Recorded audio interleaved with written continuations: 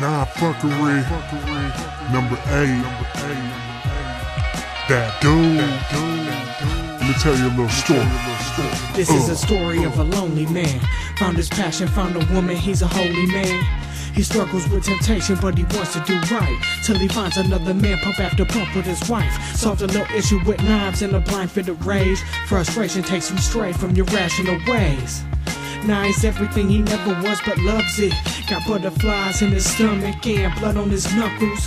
What would you do in his position? Torn between a psycho and religion, he's a Christian. Now the piece that kept him breathing's body missing. And even though he had committed the crime, he still feel like the victim.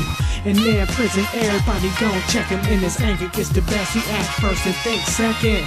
A person's life is so precious, he ended. And now he see the beauty. It was worth it for that second. Cause the bitch understood for that one single moment the meaning of being evil and acting on a compulsion. One bad decision takes the rest of your life. Like what's done in the dark gon' come to the light. So what do you think? Who's at fault? Him or her?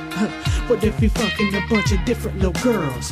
What if she lived in a fantasy world and the teacher about repercussions had to damage the girl?